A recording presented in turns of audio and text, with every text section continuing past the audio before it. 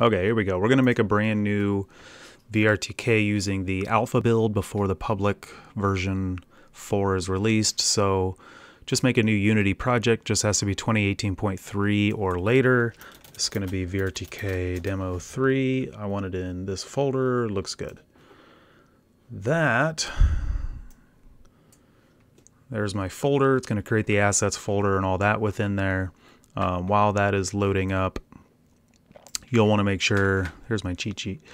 Uh, you'll want to make sure you have Git for Windows, which is going to allow you to run um, Git Bash um, emulation right there within Windows, which is really handy. Pretty sure this version I, I went and downloaded. Um, inside of our folder here, inside of assets, I don't think it matters. It's not quite done there, but I'm going to run a git bash here. That's what installing that does. And that'll pull up this window. So I'm going to dock this there and my photo here to make sure that I have my cheat sheet available because I'm really not that good. Um, so I want to do a git clone recurse submodules github.com slash the Stone Fox vrtk.git,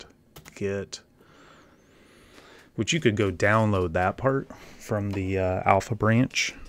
However, the part you can't do is going to be this next part. Um, that's going to create a VRTK folder in your. Um, this is an old one that I did, but inside of your uh, assets folder, we're going to jump into that VRTK folder and then um, we're going to check out the new branch from that. And then because we'll be in that new alpha branch instead of that, we don't want to be in the master branch. The master currently is 3.3 or so. It's middle of February now.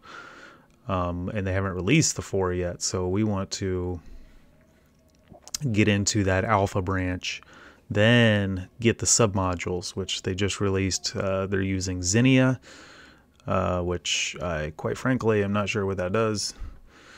Um, but I don't think I need to understand it. It's way above what I do. I'm a teacher.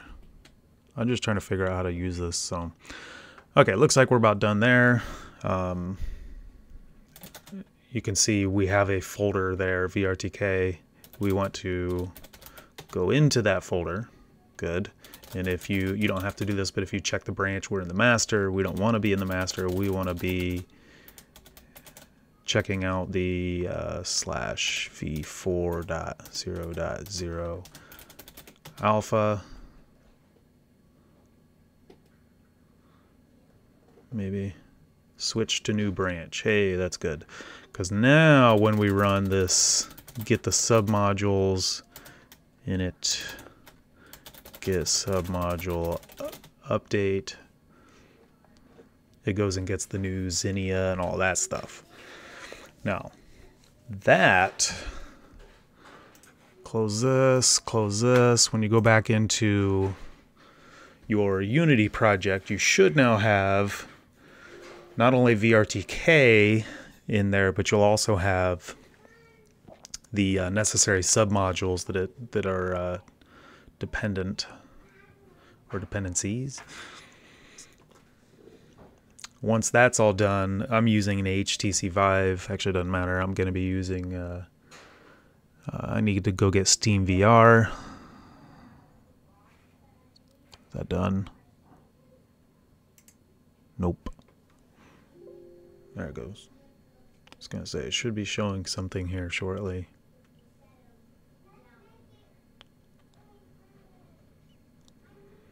I'll probably go post this video into um, uh, the Slack channel there for VRTK because there's a lot of really helpful people in there that have helped me, and hopefully this helps someone. Still going. I love that it's a farm.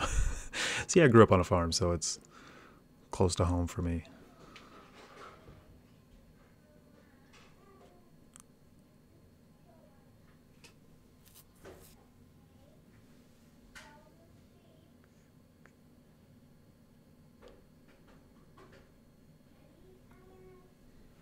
Okay, there's our VRTK. I still need to get from uh, uh, from the asset store the Steam VR plugin. That way it'll interact with my Vive.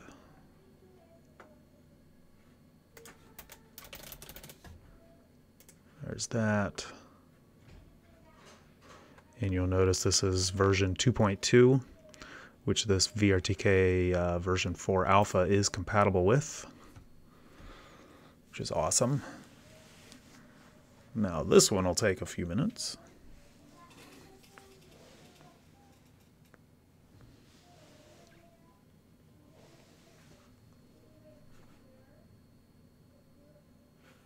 Import. I'm taking everything. The bow and arrow, everything. Kind of fun to play around with. You can shoot bow and arrow. Just using the Steam VR.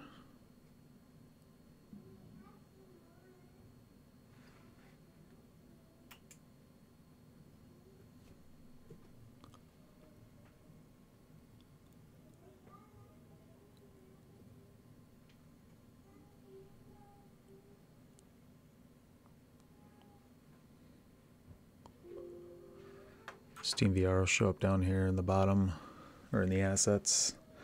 Once that's ready, then I'll open up my uh, VRTK demo uh, farm scene and test it out with my Vive I have sitting here.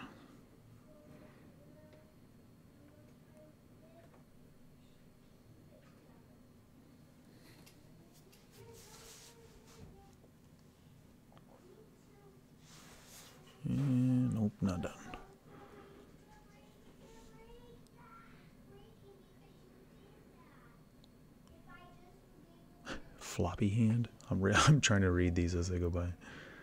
Longbow, that's a fun one.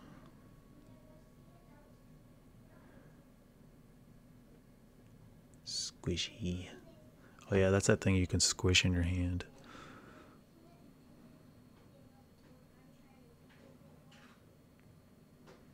Joe Jeff. The glove.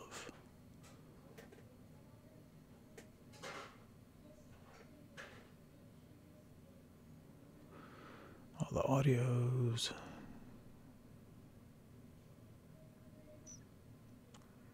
Because I didn't need to really get all of these.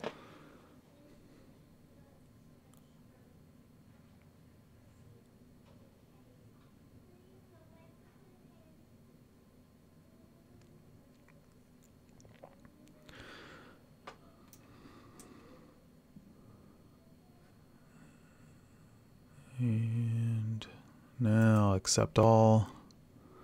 I made the right choice. Alright, done with this. Now I have my Steam VR and my VRTK in here inside of VRTK samples, uh, scenes, farm scene. Open up the farm scene. There we go. Let's go ahead and play that.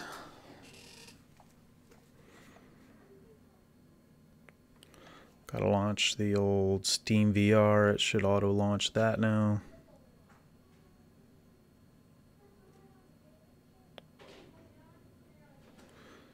Steam VR successfully installed OpenVR package. Good. Hey, there we go. And there we are on the farm, just like back home. There we go. Enjoy.